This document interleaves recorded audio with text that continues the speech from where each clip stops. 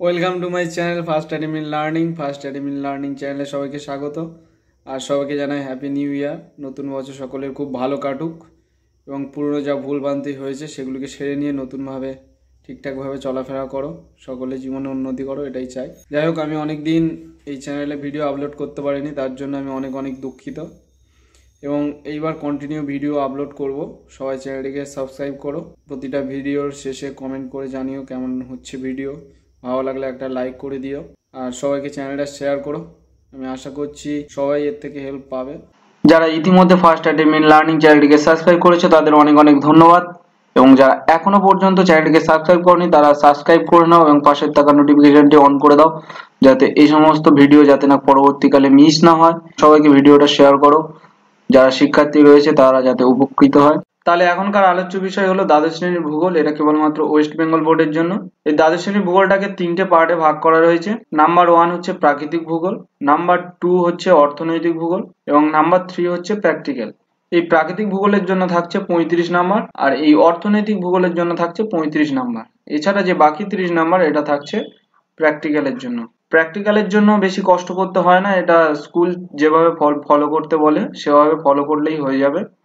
একটু প্র্যাকটিস করতে হবে। আর যারা হায়ার স্টাডিজ করতে চাও জিওগ্রাফি নিয়ে তারা প্র্যাকটিক্যালটাকে ভালোভাবে গুরুত্ব দেবে। তার কারণ এটা অনেক দূর পর্যন্ত এই প্র্যাকটিক্যালগুলো কাজে লাগে। এই প্রাকৃতিক ভূগোল আর এই যে অর্থনৈতিক ভূগোল, এই দুটোর মধ্যে যে যে চ্যাপ্টারগুলো রয়েছে, সেগুলোর জাস্ট ওভারভিউ দেবো আজকে।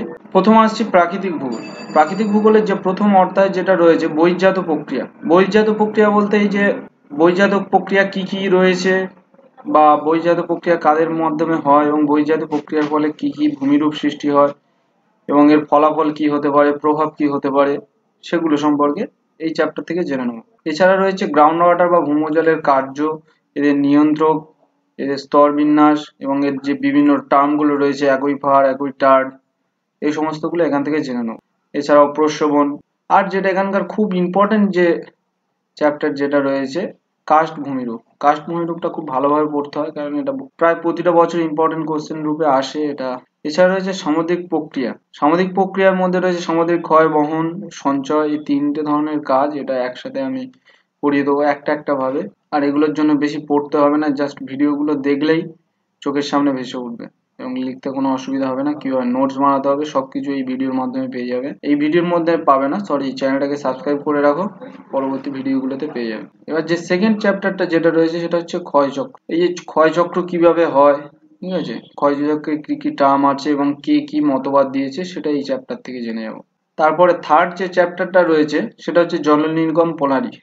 জল নির্গম প্রণালীর মধ্যে কি কি নদী নকশা তৈরি হয়, কেন্দ্র বিমুখ কেন্দ্রমুখী বিভিন্ন ধরনের জল নির্গম প্রণালী রয়েছে, সেগুলো সম্পর্কে এই চ্যাপ্টার থেকে জেনে নেব। এরপর আসছি চতুর্থ অধ্যায়। চতুর্থ অধ্যায়ে রয়েছে মৃত্তিকা সম্পর্কে। মৃত্তিকার সংরক্ষণ, মৃত্তিকার যেমন যে সমস্ত প্রক্রিয়া রয়েছে, সেগুলি রয়েছে। মৃত্তিকার বিভিন্ন উপাদান, মৃত্তিকার উর্বরতা, উৎপাদনশীলতা বিভিন্ন সম্পর্কে রয়েছে। আর এরপরে যেটা পঞ্চম অধ্যায়, যেটা রয়েছে বায়ুমণ্ডল। বায়ুমণ্ডলে কি কি স্তর রয়েছে? বায়ুমণ্ডলে কোন স্তরে গলযোগ সৃষ্টি হয়? এই যে জলবায়ু পরিবর্তন কীভাবে হয়, পরিবর্তনের ফলে কি কি অসুবিধা হতে পারে, কি কি সুবিধা হতে পারে, ঠিক আছে? সে সমস্তগুলো এই চ্যাপ্টারের মধ্যে রয়েছে। এরপর যে ষষ্ঠ যে চ্যাপ্টারটা রয়েছে, সেটা হচ্ছে জীব বৈচিত্র্য এটা খুবই একটা ইম্পর্টেন্ট চ্যাপ্টার এটার উপর এখন খুব গুরুত্ব দেওয়া হচ্ছে। এই যে জীব বৈচিত্র্য বিনাশ জীব বৈচিত্র্যের গুরুত্ব, এই সমস্তগুলো এই চ্যাপ্টারের মধ্যে রয়েছে। এরপরে যে চ্যাপ্টারটা রয়েছে, দুর্যোগ ও বিপর্যয়। এই দুর্যোগ ও বিপর্যয়, এই চ্যাপ্টারটাও খুবই গুরুত্বপূর্ণ এখনকার দিনে। তার কারণ যে পরিমাণের দুর্যোগ ও বিপর্যয় ঘটে চলেছে আমাদের ভারতবর্ষে তথা আমাদের পশ্চিমবঙ্গে, সেগুলোর জন্য এই দুর্যোগ ও বিপর্যয় চ্যাপ্টার সম্পর্কে জ্ঞান থাকা সকলেরই প্রয়োজন। এরপরে যেটা রয়েছে অর্থনৈতিক ভূগোল, এটা থেকেও তিরিশ নাম্বার থাকবে, একটু আগেই বললাম। অর্থনৈতিক ভূগোল থেকেও তিরিশ নাম্বার থাকবে। এই অর্থনৈতিক ভূগোলের মধ্যে প্রথম যে অষ্টম অধ্যায় যেটা রয়েছে, সেটা হচ্ছে অর্থনৈতিক কার্যাবলী। কি কি অর্থনৈতিক কার্যাবলী রয়েছে, কটা স্তর রয়েছে, কোন স্তরে কি কি কাজ হয়, সেই সমস্ত এই চ্যাপ্টারে আলোচ্য বিষয়। এরপরে যে নবম যে অধ্যায়টা রয়েছে, যে ভারতের কৃষি সম্পর্কে, এই কৃষি চ্যাপ্টারে কৃষি নির্গম প্রণালী, কৃষি বলয়, কৃষি বিপ্লব, যে বিভিন্ন বিপ্লবগুলো রয়েছে, সবুজ বিপ্লব, নীল বিপ্লব, শ্বেত বিপ্লব এই যে বিভিন্ন টার্মগুলো এগুলো খুব ইম্পর্টেন্ট এবং খুবই গুরুত্বপূর্ণ। খাদ্যশস্য কি কি রয়েছে এবং এগুলো কোন পরিবেশে চাষ হয়, এর জন্য সুইটেবল যে কন্ডিশনগুলো কি কি, সেই সমস্ত এইখানে পেয়ে যাব। ভারতে কোন শস্য উৎপাদনে পৃথিবীতে কত নম্বর স্থান অধিকার করেছে, সেগুলো এখান থেকে পেয়ে যাব। এটাও একটা গুরুত্বপূর্ণ এখান থেকেও একটা বড় কোশ্চেন হয়, শিল্প থেকেও একটা বড় কোশ্চেন হয়, আর ইকোনমিক কার্যাবলী থেকেও বড় কোশ্চেন হয়।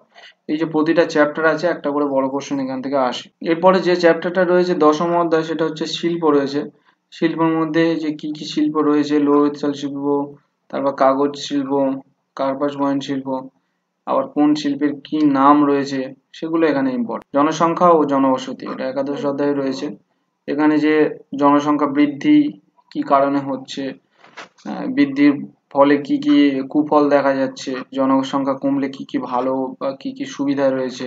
সেগুলো জানতে পারব। এবং কীভাবে জনসংখ্যা বাড়ছে এবং কীভাবে জনসংখ্যা কমছে সেগুলো সম্পর্কে আলোচনা করতে পারব এই চ্যাপ্টার এরপরে সর্বশেষ যে চ্যাপ্টারটা রয়েছে, আঞ্চলিক অর্থনৈতিক উন্নয়ন। এই চ্যাপ্টারে বিভিন্ন ইকোনমিক জোন যেগুলো অর্থনৈতিক যে অঞ্চলগুলো রয়েছে সেগুলো সম্পর্কে জানব। যেমন রয়েছে পশ্চিমবঙ্গে হলদিয়া বন্দর আর এছাড়া রয়েছে ব্যাঙ্গালোরের বৈদ্যুতিক শিল্প, যে বিভিন্ন যে গুরুত্বপূর্ণ অঞ্চলগুলো যেগুলোর উপর ভিত্তি করে আমাদের শিল্প ব্যবস্থা উন্নতি হয়ে যারা ইতিমধ্যে ফার্স্ট অ্যাটেমিন লার্নিং চ্যানেলটিকে সাবস্ক্রাইব করেছে, তাদের অনেক অনেক ধন্যবাদ। এবং যারা এখনও পর্যন্ত চ্যানেলটিকে সাবস্ক্রাইব করেনি, তারা সাবস্ক্রাইব করে নাও এবং পাশের থাকা নোটিফিকেশনটি অন করে দাও, যাতে এই সমস্ত ভিডিও যাতে না পরবর্তীকালে মিস না হয়। সবাইকে ভিডিওটা শেয়ার করো। যারা শিক্ষার্থী রয়েছে, তারা যাতে উপকৃত হয়।